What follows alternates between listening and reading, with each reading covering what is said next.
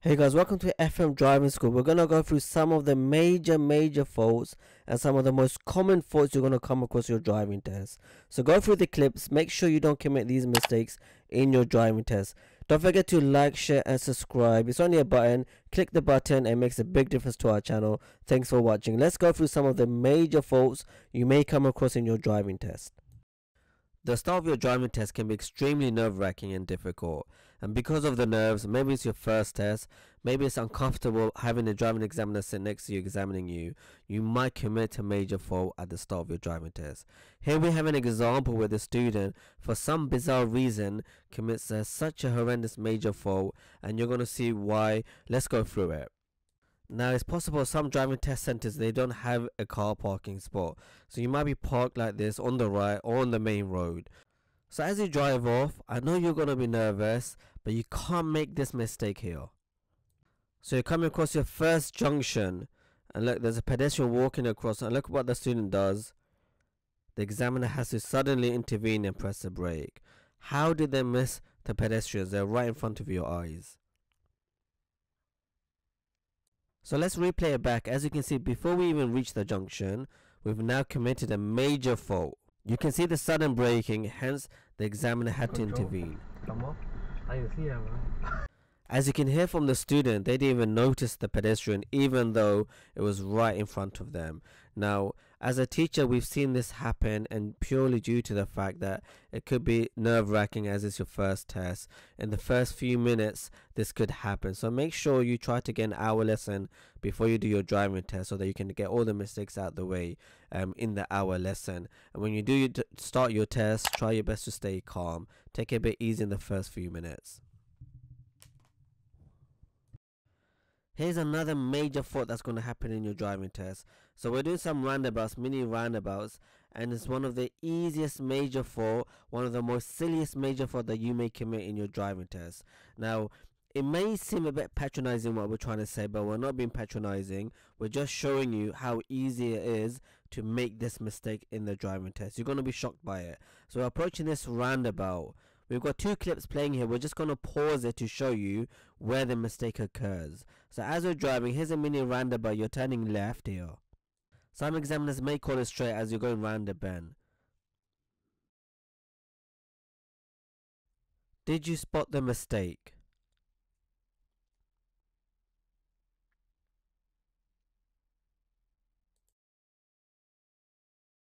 We've slowed down the clip to give you a bit more time to think about the situation.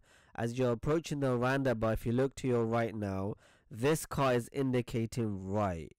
So we don't have the priority. The student had a lapse of concentration. The examiner had to intervene and stop. The student had a lapse of concentration and thought that they were in the one in the priority. But really and truly, this car was indicating right, so we have to stop and give way to the right. It can happen to anybody in the driving test, um, a lapse of concentration, and you commit a major fault and fail your test, unfortunately. Let's go through this major fault in your driving test. You make one major fault and you fail your driving test. So we've got a situation here. We're driving towards this white car in front of us. It seems relatively easy all you're doing is driving in a straight road. But look how easy it is to make this major fault. It could happen to anyone. As you're driving, you got you got a nice gap between us and the car in front. You can see the car braking with its brake lights on. You got a keep clear sign. You have to be alert. Is there space to go ahead of the keep clear? Seems like it.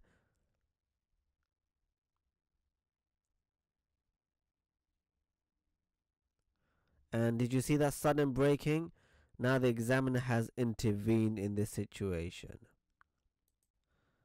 You're going to notice now the car just edged forward slightly. I do feel the car thinks that we're a bit too close to them. So from the, you can see now there's a nice little gap. Now from the uh, camera's perspective, you might think there was enough space. There was no need for the harsh braking. We're just going to replay and show you exactly why that occurred in the driving test. When you're driving, you should be planning ahead. So as soon as you saw the keep clear, don't take the gamble and roll forward. Make sure there's enough space. Now the student was good enough to be extremely slow, but they kept rolling and rolling and rolling. And remember, the examiner can't see the front of the car, most likely. They're driving, they're examining different students in different cars. So, the way to judge when you're sitting down, if you have a trained driving instructor, they would have taught you tires and tarmac. So, you want to be able to see the bottom of his tires and a li- little bit of the road. And the reason why the student edged so far close was they were trying to get away from the keep clear box. But in doing so, they got a bit too close to the car in front, hence why this car now is trying to edge a bit further forward. You're going to see them move forward a little bit. Now, obviously, it's a judgment call. The examiner felt that they got a bit too close and put on the brakes in order to stop us rolling any further forward towards this car, leading us to hit the car. So anyway guys, make sure you plan ahead and don't get too close to the vehicle in front. This will be considered a major fault in the driving test. Comment below, let me know what you guys think. One of the best way of passing your driving test is to learn from other people's mistakes. Or in this case, you can watch the videos and learn from the mistakes on the video. So you're going to come across this situation in your driving test. Very, very easy to make this mistake. As you're driving, you have to notice there's a bend around this road. So do not go straight here. The way to tell is by the give way lines. You can see give way lines. So the student does well to turn around the bend. But now they're about to go into the bus lane. You can see and then suddenly they get moved out. Now, in this situation, the examiner uh, forced the student out. Sometimes the examiner may allow you to use the bus lane when it's not in operation and then tell you at the end that you shouldn't have been using it and have committed a major fault. Now, as a teacher, we know exactly why this happened, especially if you don't know the area. That's why it's really important to go to the area and practice.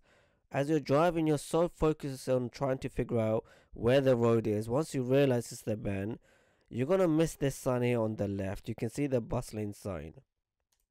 And as you get closer, you're to see there's no timings on it. Therefore, the bus lane is in operation throughout the whole day. You cannot be using it. But maybe the student is so focused in trying to figure where to go, they finally realize and then totally forgot to um, check out the bus lane time. There is another sign on the left there. And as the sign has no timings on it, we're not allowed to use the bus lane. So had they used it, which they were about to use, they would have committed a major fault in the driving test. Because the examiner intervened is also counted as a major fault. It's really important to understand how driving examiners mark. So I'm going to show you a clip here and show you if this is a major fault or not. So the driver here is taking the third exit. As they're driving, they're approaching the roundabout, and you can watch you can watch other drivers and see if they make a mistake and affect you. If they do, you can see how examiners will mark the other drivers. So as you're driving, you're taking the third exit. You're on the right lane, correctly so. Now, in the driving test, if you take over anybody's priority or affect someone's driving, you would fail your driving test. So you can see the learner driver ahead of us, this white car. As us driving across, we had to slow down for the learner driver ahead of us. As we're moving across, we had to slow down. Therefore, the learner driver ahead of us affected us. So if that was a student on the driving test, it could be considered a major fault depending on the examiner. If they felt they affected the driver behind us or the driver on the right as we had the priority. So I'm trying to say to you when you're doing your driving test, if you were this learner driver ahead of us, is to either speed up and get out the way of anybody on your right, or if you're not sure, don't make the call to go into the roundabout. It's one of the hardest part of the driving test, whether to enter the roundabout or not, to make that decision. It can be tricky, so make sure you enter it and don't slow anybody down, or don't go in the first place if you're not sure. We're gonna come across another mistake. Um, if you keep watching now, we're going to be turning right at this traffic light. Both of us, the learner driver ahead of us and us driving. You're going to see the learner driver coming to a stop almost. Look at the learner driver turning right. They come into a stop. But they have to wait in the middle of the road. If it's a green circle, you go to the middle of the road. So now they've gone in slowly. Now look, the lights change and us, the driver, we decided to wait almost and we were prompted to move across. If you don't move across, um, you'll fail your driving test because you're on the middle of the crossroad. We're just going to replay the clip. This is a crossroad, you're turning right, both of us.